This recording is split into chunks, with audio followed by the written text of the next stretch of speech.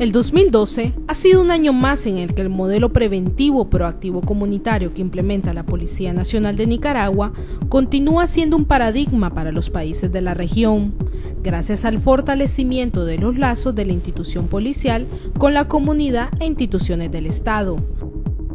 Esa realidad se vio reflejada durante la jornada de reflexión sobre seguridad ciudadana desarrollada en los 153 municipios del país lo hemos entendido, lo vemos, lo entendemos como un primer paso, como un primer paso muy importante, una jornada de reflexión que ha sido intensa, intensa, larga, pero que no para, que no terminó, sino que arrancó y va a continuar como una forma de trabajar, como una forma de construir la seguridad.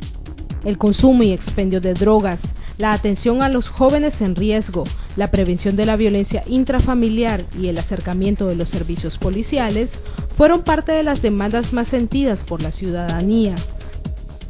El modelo preventivo tiene que prevalecer no solo en las actividades ya comúnmente conocidas como el avigiato, las personas que hacen hurtos menores, la droga y todo lo que tiene que ver con el crimen organizado. Tiene que ir también hacia la protección de cada uno de los ciudadanos y también de las personas que están en el municipio de San Juan del Sur como turistas.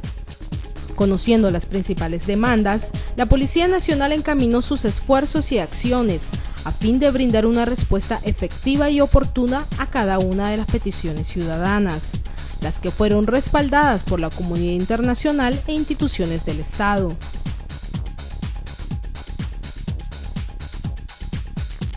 Una de ellas fue la entrada en vigencia y aplicación de la Ley 779 o Ley Integral contra la Violencia hacia las Mujeres.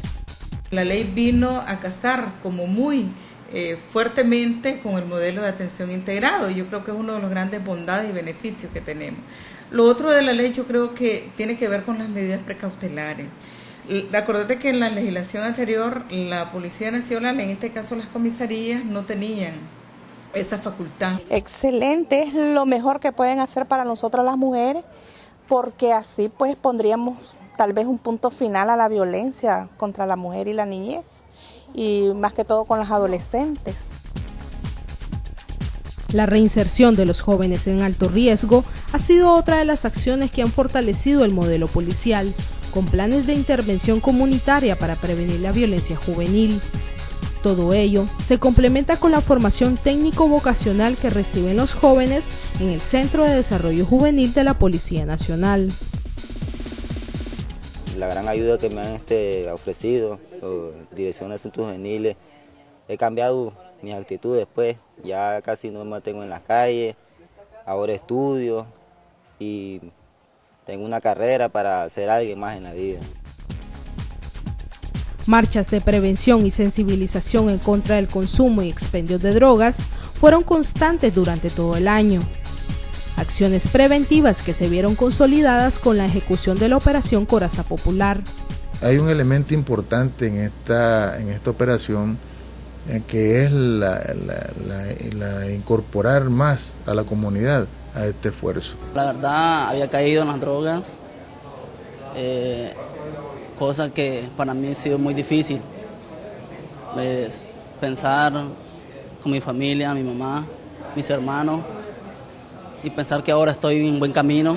Le doy gracias a Dios y a todos los que me han ayudado. En Managua, la implementación del plan de fortalecimiento de la seguridad ciudadana consolidó la presencia policial en puntos conflictivos e impulsó la instalación de siete unidades preventivas móviles que han contribuido a elevar la percepción de seguridad en la población. Desde que está ese furgón o ese monstruo azul que yo le llamo, ¿verdad? Se ha implantado un más respeto aquí en, el, en, este, en este sector, que este sector era bastante conflictivo antes. Porque nosotros a raíz de que está esta móvil aquí, nosotros hemos tenido tranquilidad, hemos tenido un cambio bárbaro ya, ya podemos dormir tranquila, ya no hay pleitos de pandilla, no hay balacera, no hay lluvias de piedra. A ese trabajo preventivo comunitario se suma la operatividad del sistema policial, que ha permitido la desarticulación de grupos delincuenciales que operaban realizando diferentes ilícitos, además de la lucha frontal en contra del narcotráfico y crimen organizado transnacional, con operaciones como Embrión, Dique y el caso Televisa, dejando evidencia que Nicaragua continúa siendo un muro de contención en contra de este flagelo. La política de Estado de Nicaragua de combatir sin cuartel el crimen organizado transnacional y el narcotráfico, inmediatamente se activó el sistema de medidas de descubrimiento, no solo de la Policía Nacional, sino del gobierno de Nicaragua.